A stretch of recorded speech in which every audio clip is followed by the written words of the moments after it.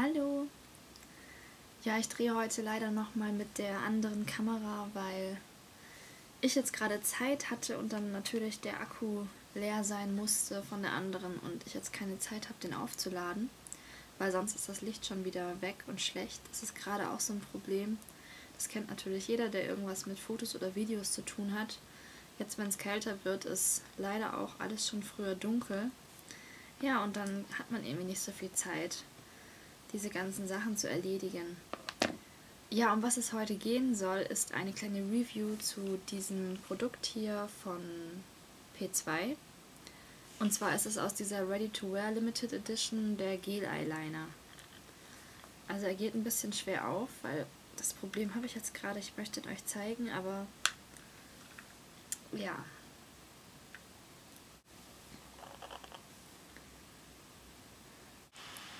Yeah. Also, ich muss echt sagen, das ging gerade nicht einfach. Und ich glaube, der Nagellack ist jetzt auch hinüber. Und wenn ihr irgendwie brüchige Fingernägel habt, dann ist das auch nicht so cool. Auf der anderen Seite muss man natürlich sagen, diese Dinger trocknen auch verdammt schnell ein. Also wenn die Verpackungen schlecht sind und die Teile nicht richtig zu sind, ja, dann trocknet das Ding sofort aus. Wie es mir zum Beispiel hier mit diesem da ging und dann hat das alles keinen Sinn. Also so sieht das aus. Da ist relativ viel Produkt drin, würde ich sagen. Hm, ich sehe jetzt gerade keine Grammangabe. Der ist sechs Monate haltbar. Und es ist in schwarz. Die Farbe heißt einfach Organza Black. Und er wird hier als Creme Eyeliner angepriesen. Dabei ist hier auch noch so ein Pinselchen. Das ist da so festgeklebt worden in der Verpackung. Kleber mache ich mal ab. Ich habe das Pinselchen noch nicht benutzt, weil ich einfach jetzt nicht so den Bedarf an so einem Pinselchen habe. Außerdem ist es mir ein bisschen zu unpraktisch, weil der vielleicht sehr kurz ist, aber er fühlt sich gar nicht so schlecht an. Also diese Haare fühlen sich ganz okay an. Er ist ja ziemlich präzise, glaube ich. Und ja, wir können das ja mal ausprobieren.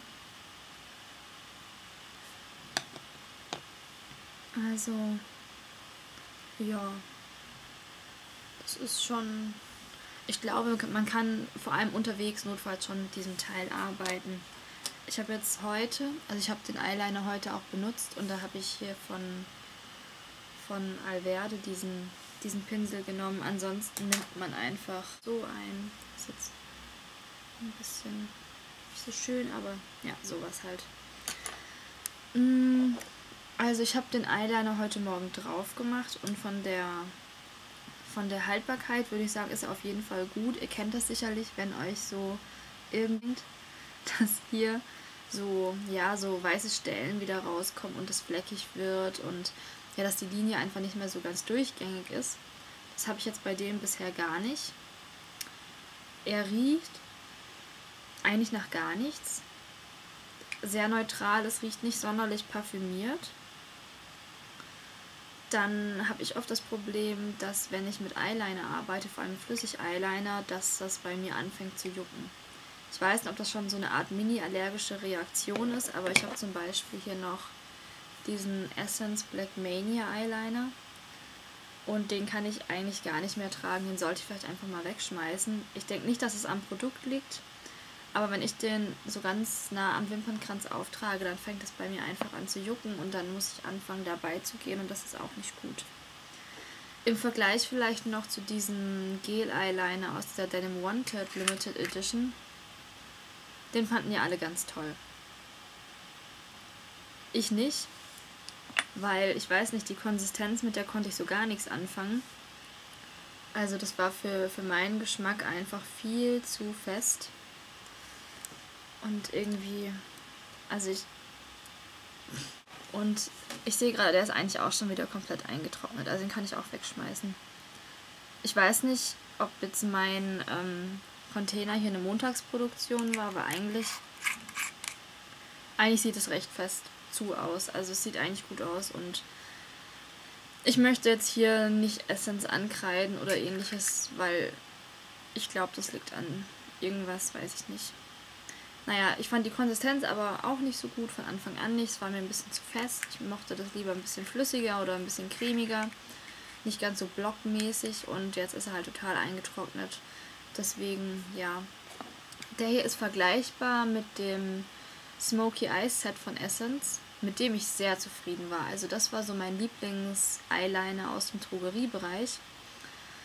Den habe ich aber irgendwie verloren und jetzt habe ich halt gerade den und das hier ist ziemlich genau so oder funktioniert ziemlich genauso wie das, also wie dieser kleine Teil aus dem Set, weil da ist auch noch ein Lidschatten dabei. Preis war, glaube ich, knapp unter 3 Euro, also da ist man auch noch ganz gut dabei.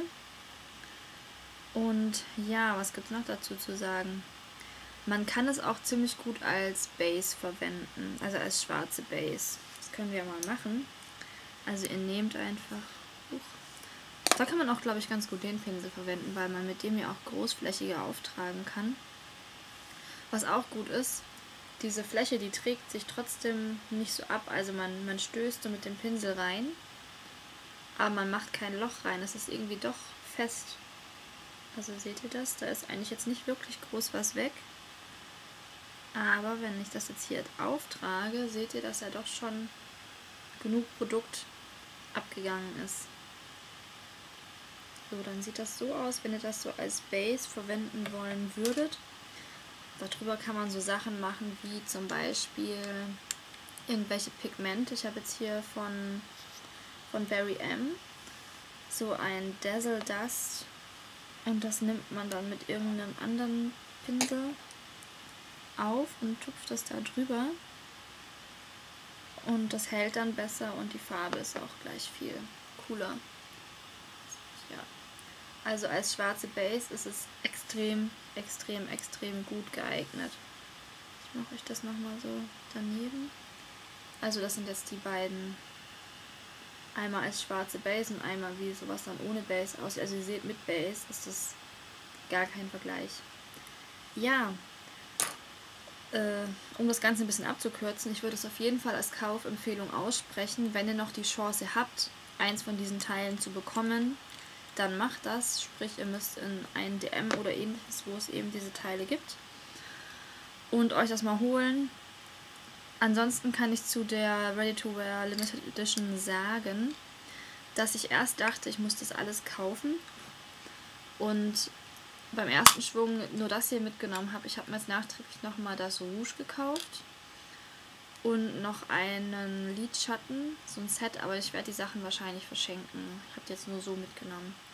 Ja, gut, dann war es das erste Mal. Ich werde, wenn meine Kamera aufgeladen ist, wahrscheinlich noch ein Video machen und ich kann euch dafür schon mal einen Teaser geben, weil einige haben über Twitter ja mitbekommen, was ich so gestern getrieben habe.